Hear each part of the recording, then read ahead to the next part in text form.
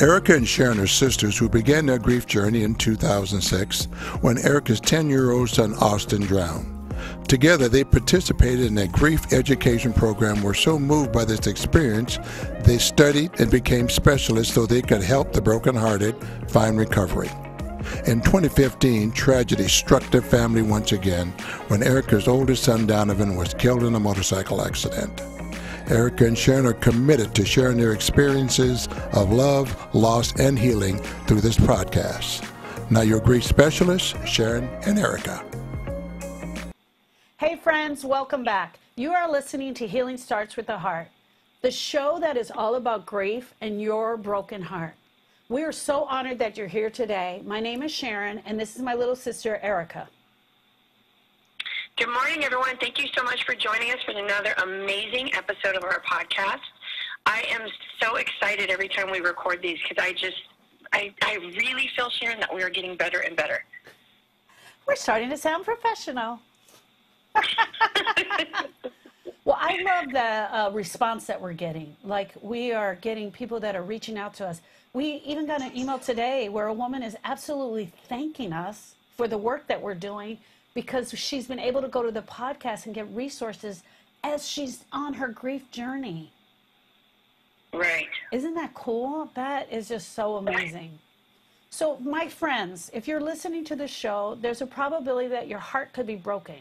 Now, we talk about this all the time. It could be from death. But we want you to know that there are 40 or more known losses that a griever can experience. And many times we work with grievers that aren't just grieving death divorce, breakup of a romantic relationship. As Erica likes to say, uh, the death of their fur baby and their love of their life.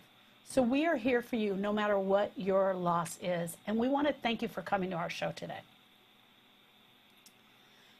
The show today is kind of very personal to you and I. We've titled the Yeah. show The Five Stages of Grief. But actually, I want to title the show There Are No Five Stages of Grief. Yeah, I think that's a better title. There are no stages, five stages of grief. So I actually did a TEDx in uh, 2018 where I actually stood on the TEDx stage and I debunk for ourselves the stages of grief. And I'm going to go over some of that real quick. The stages were created by Dr. Elisabeth Kubler Ross. She's a psychiatrist, and she wrote a book on death and dying in 1969. And in early 1970s, the stages um, that book had gotten out into the world, into all the psychiatrists, and they started to use this book in their practices and around the early 1970s. How the stages actually came about is Dr. Kubler Ross had interviewed over well over 200 dying patients, patients that were actually dying that had been given a terminal diagnosis. And she had interns that were working with her and she was teaching them. And what she would do is she would walk into these patients' rooms that were dying and she would have conversations with them just to see how they were doing. How were they doing with the diagnosis? And one of the things that she realized is that many of them were dying to talk. They wanted to talk through where they were at. And then she would leave the room after she interviewed these patients and she would turn to her, her interns and ask them what they had experienced about this conversation. But to move the process on a little bit further and faster, she created, which is what we understand, a list of 13 stages. And she created these stages so that the interns could quickly know what part of the process, the dying process, the patient was in. And somewhere along the way, these 13 stages got dropped to five stages. And that's what the psychiatrists started teaching in their practices. So these stages are denial, they are anger, bargaining, depression, and acceptance. When she would turn to her interns and look at these interns and ask them, Where do you think the patient was? This was so that she could quickly move them on and also to help her with her thesis that she was writing at the time. Unfortunately, someone in the Psychiatry World took the book on death and dying and they associated it with grief. Excuse me. And so, what we have a lot of times is that people will actually talk about the stages of grief that were really meant for dyers, for people that were dying. When our first loss occurred, Erica, I had learned the stages of grief in um, medical assisting school. You had learned the stages of grief in, uh, in college. You and I often talked about it. And so I quickly went and Googled the stages of grief so that I could find out what stage. Here's the funny part. This was, I wanted to find out what stage you were in because I only assumed that you were going to grieve, that Lewis was going to grieve. And so I wanted to know what stage you were in. So I quickly Googled them to remind me about it. And so let's talk about a little bit about what our, our phone conversations were like. They were like, I would call you up, and I always said the same thing How are you today? Right. And after we would share our story of what, how the news was broken to both of us, and then how you and I got to be together on that day um, after Austin passed, and when you came to tell me that they that he had drowned, we would go quickly to the stages, and we would some type of dialogue about well, what stage are you in today? Or I would you would you would bring it up, and sometimes I would bring it up. And this is why I think this show is so important. I felt a lot of times like I couldn't connect to any of the stages because I didn't understand bargaining. What was that? How was I going to do that? What was I bargaining for? And I really wasn't ever angry I I was just mostly sad, devastated, uh, broken. I mean, I that that's how I felt. I didn't feel any of those, you know, other things. So I I was trying to force myself into this box of these stages where I didn't fit. It was hard. I in in addition to already grieving, I felt like I wasn't doing it right. So then there was this other level of don't think I'm doing this right. How am I going to get better if I can't do it properly? Because I kept thinking this was the only way to do it, these five stages. And so that's why I think it's such a disservice that this information is put out there for grievers because when you do Google grief, the first thing that comes up yeah. are five stages. Yeah, exactly. So I want to also point out this that Dr. Elisabeth Kubler Ross has a subtitle right on the front of her book. And that subtitle is What the Dying must teach doctors, nurses, clergy, and their families. This book was definitely written for people that were dying. And so we have to remember that. And I agree with you. I remember when you and I were having these conversations, we were so hard trying to make these things fit onto you that they almost sounded crazy at times, right? So I remember this conversation. Hey, Erica, how are you doing today? And you said, Well, I think, t- I think today I'm in anger because you, we were always trying to fit a stage. And I was like, Anger?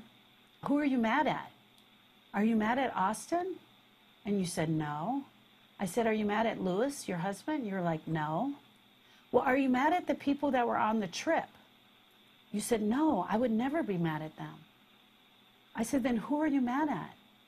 And then you said, uh, well, maybe I just can't believe that he's gone. Maybe I'm mad that he's gone. Like we couldn't fit the anger to anything. And so we just kept going down the list. And when you finally came up with, well, maybe I'm just mad that he's gone, I believe I said, oh, okay. And then we accepted that. And then one of the stages is also depression. Would you say you were less than happy when Austin died? Absolutely. But I wouldn't say I was depressed. I was sad. Yeah. I was heartbroken. Yeah. I was yeah. devastated. I, I was all of those things, but to say I was depressed, I mean, I don't even think that that can really convey. Can You know, of course, you're just you're broken. You're lost. You're you're you're in shock. You're numb. You're you're all of these other things over these five stages. So I remember that you and I stuck with, we ended up sticking with anger and denial and depression. We stuck with those a lot. But we could never touch acceptance. How do you touch acceptance? Right. What, what is that conversation like? Uh, hey, Erica, how are you today? Have you accepted your son has died? I think I would have bit your head off. Right.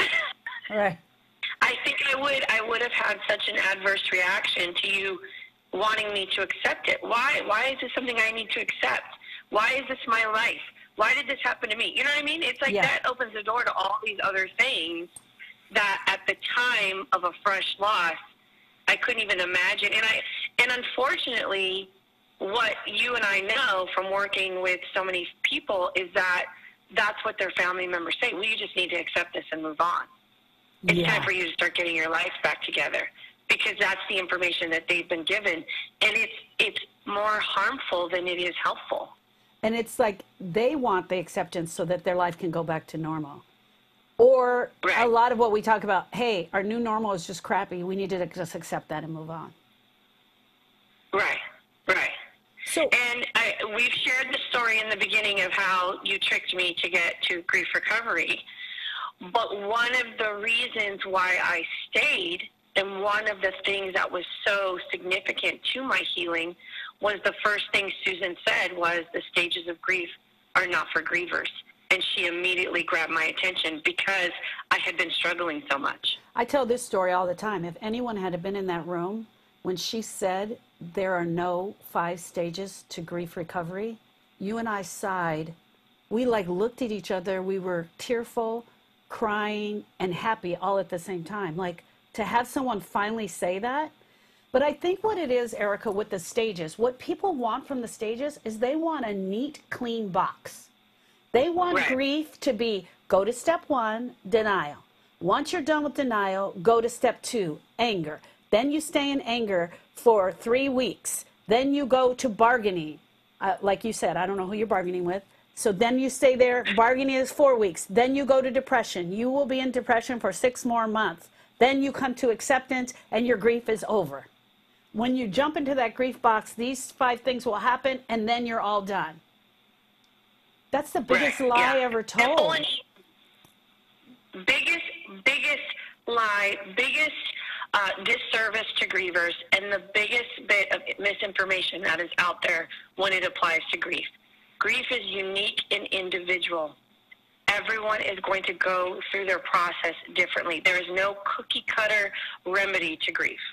So I heard a woman tell on the, say on the news the other day. She was being interviewed, and her daughter had, was in one of the uh, shoot, recent shootings that we had, and now she goes around the country and she speaks. It was a beautiful, beautiful interview. But she said, "I went through all the stages of grief, and then I, uh, it was rinse and repeat. I started them all over again. At any moment, you could be in anger. Somebody could be really mad." At any moment, you could be in denial that it really happened. I mean, you Yeah. could do, definitely be in disbelief. At any moment, I think sadness could be associated with depression. I'm not diagnosing here, but you could feel depressed, right? So at any moment, you could feel these. So basically, a lot of times, what people are thinking is that you go through the stages and then you go through the stages again. Like you just keep going through them until time, enough time has passed, and then you don't have the pain anymore. It's weird. Well, and then one of the things that I share is on any given day, you're going to go through the full range of emotions mad, sad, glad, you know, all that fearful. You're going to go through that every five, you can go through it every five minutes Yeah. because grief is so. It's so overwhelming, and it its process is what it is. You know, it just for that person, for that individual person. So you can go through the full range of emotions on any given day, and then start over that next hour. You know, so there's no there's no formula, there's no format, there's no uh, there's no there are no stages. It is what it is, and the way to uh, really rein that in is to find help and support. Hopefully, they find us so that we can really educate them on how it's okay for them to go through their process the way that they need to go through it. Exactly. They need to go through their process the way they need to go through it, and it takes as long as it's going to take. And that's the other thing they need to understand. here's the other thing grief is not a straight line. It's not one week here, two weeks here, three weeks there. It's not a straight line. You are up and down every single day. One day you could eat, even be laughing and telling jokes, which can make people feel really bad. And the next day, you could be in bed like you just cannot get out. So here's what happened, my friends. About seven or eight months after Austin died, I called Erica one day and I said, Hey, how are you today? It was always the lead in question. And she said, Today I think I'm in denial. And when you said that, I it just threw me for a loop because I was like, oh my gosh, she doesn't know her son died? It was really weird. And so I lowered my voice and I leaned into the phone and I said, Erica, you know he died, right? You remember we had a funeral, almost like you were crazy. And you were like, yeah, Sharon, I know he died. And that's when I realized these stages don't fit. It was after the denial statement. So then I started to think, well, when do you enter the stages? How long does each stage Right. last? Do the stages go in order? Does everybody go in the stages? Do they come in a, a sequential matter? And now I know for a fact, and I'm here to tell you, the stages have nothing to do with grief or recovery. Right. Yes. They do not fit in this world. And however, that being said, you have witnessed firsthand though with our dad and your best friend Yeah. who have passed away and were dying and you, you actively saw the stages at work Yeah. through their transition. Yeah. Yeah. So when my dad, when our dad was dying, my dad, you like that? I claimed him. When our dad was dying and he was giving the, um, the terminal illness of um, bone cancer, I can distinctly remember him being there and I going in that room one day and he said, Hey, I, you know, I want to see if there's any treatment. Like one day, like literally bargaining. Like maybe we should call the doctor and see what other treatment that they have. And maybe we can try this. And with my very best friend Sharon, when she passed away, they offered her some treatment that seemed so off the chart. Like there were no guarantees. I almost felt like they were practicing medicine on her. You know how they practice medicine? Uh-huh. Like they wanted to give her this treatment, and I was like, that sounds really painful. And what what quality of life are you going to have? And then she one day I would go in and she wasn't going to try the treatment. Then the next day she was trying the treatment. I can remember being in with with dad where he was really upset and wasn't talking at all. He went a few days, as a matter of fact, without speaking at all, which I think was sort of depression. Um, and then there was the time where he did have total acceptance when he called us all together. Remember that? He called us all Yeah, we together planned the funeral. and we all sat around the table with him and he planned out the funeral and that was a moment of acceptance and bargaining for sure you know him trying to change his diet and do everything he could and um, uh, i saw it 100% in sharon and dad that they went through those those moments and times for sure one of the other things erica that we sometimes people try to add to the stages that are not a part of st- uh, a uh, a stage and is not even a it's more of a myth than anything is when you get closure Right. Right. Yeah. I, I absolutely hate the word closure, and I think that it's something that society, and I think they use it a lot in the in media. Well, when you get closure, or I have closure, it's that word that as we're going to go through these stages, and then the door is going to close in that acceptance part, and we're going to have this closure. I don't know what that feels like. I've never had it, but we teach completion, which is so different. It's completing what is broken in your heart, completing that emotional incompleteness in your heart, everything you needed to say and never got a chance to say. Well, I think for me, especially after Austin, I remember um, that was the second thing that grabbed me in the, when we started grief recovery was Susan said, "We're not going to tell you you're going to get closure because there is, is no such thing as closure."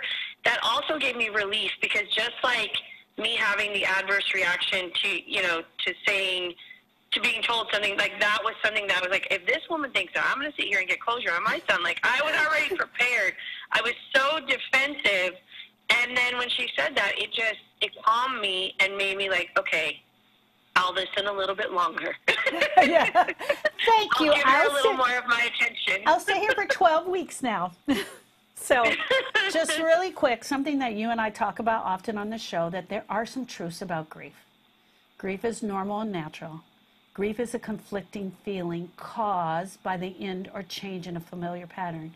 Grief is unique, just like you said, and individual to every person. And we can all experience a grieving experience at some point in our life.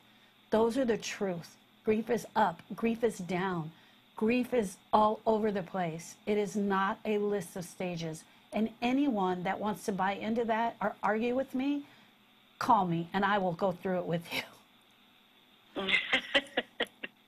Yeah, and th- that's one of the things that's so hard is when you do have the loss of whatever it is, um, you're given so much bad information. Your your people share with you the old myths that they learned when they were young, and and it's so it's so important to have them reach out to us so that we can really let them know they're okay. Those myths don't apply to them. Their journey is their own, and if they put in some time and some work, they will make it on the other side and and have the completion they need and the and to really free their hearts from the pain. 100%. 100%.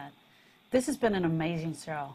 I love this uh, subject. I love sharing this subject with other people because so many times, what is the first thing that a griever tells us when they sit down in our office? Today, I think I'm in denial. Today, I think I'm in anger. And I just, you know, I let them have it for the first few times, but we have to go there. We have to go there with them. Because as long as people stay in the stages, Erica, they're not going to get to recovery as long as they think, because you can't find a way out of it.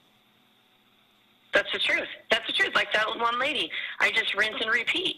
Yeah. Well, where's the healing? Yeah, where's the healing? Where's the healing? Friends, thank you so much for allowing us into your life for this very short moment to talk about the five stages of grief and death. Hey, we want to let you know that with uh, fall coming and school starting, we know everyone is busy. So we've had to lower, even though they've been so popular, our mini sessions to just three a week. We want to implore upon you to try and grab one of those sessions. If you want to go deeper into a deeper dive about the stages, if you absolutely feel that you are in one of the stages, reach out to Eric and I. We would love to have the conversation with you. They are free 30 minute sessions, and we would love to talk to you and go a little bit deeper on the stages of grief. Erica, where can our friends find us? Our friends can find us on our website at healingstartswiththeheart.com. They can email us at sisters at healingstartswiththeheart.com.